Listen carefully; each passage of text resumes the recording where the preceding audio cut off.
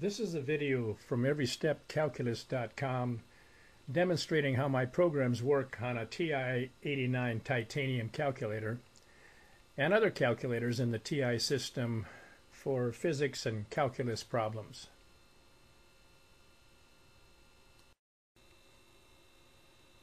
I'm going to differentiate a log to another base um, and let's get started to enter my menu, you have to press second alpha and put I-N-D-E-X letters in here, and then press alpha to put the 8 and open close parentheses.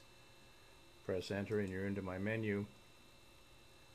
We're going to scroll down to, well this time I'm going to scroll up. If you go up here, you can go to the bottom of the menu here, where it's all alphabetical.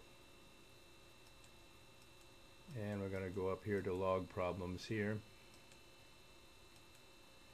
We're going to differentiate, so we're going to press 6. You can scroll down with the cursor or press 6. I'm going to press 6. And I'm going to choose number 2 to do log to the base A. And we're going to enter our function. We have to press alpha before you enter anything into these entry lines. In this case, we're going to have to press alpha. We're going to have to press then second alpha that becomes black here in this little bottom part of the screen. So you can put letters in because we need to uh, there's no function to put uh, L-O-G so we need to do that. L O G.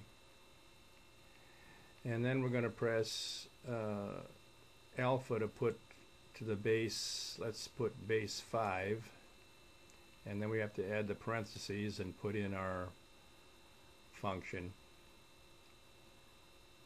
uh, 6 times x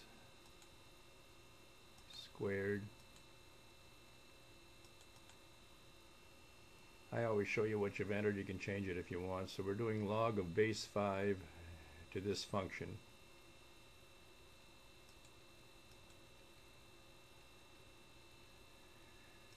You write all this down in your paper exactly as you see it. f of x is 6x squared and the a is 5. That's the base.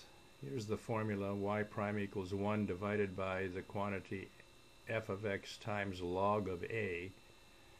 And here's your answer. Uh, pretty simple, pretty neat, huh? EveryStepCalculus.com. Go to my site, buy my programs, and pass calculus.